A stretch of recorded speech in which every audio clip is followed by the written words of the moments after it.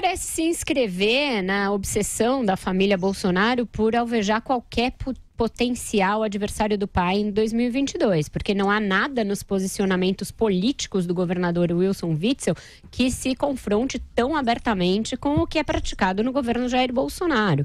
Eles tocam mais ou menos na mesma moeda, no mesmo samba ali, mesma nota. É, me parece só ser uma tentativa de criar dificuldades para um potencial adversário político. E aí você vê a fragilidade dessas alianças que se construíram em 2018 o, Will, o Vitor. O Wilson é o, Wilson é o governador e, e é o nosso operador né? aqui também. É, e você vê como elas são super tênues, porque o, o Witzel esteve ao lado da família Bolsonaro, esteve ao lado de vários dos atuais expoentes da bancada bolsonarista na, na Câmara Federal, fez dobradinha com é, o próprio Flávio Bolsonaro e agora é isso. O Carlos Bolsonaro, inclusive, é filiado ao PSC, partido do Witzel, e não ao PSL do restante da família.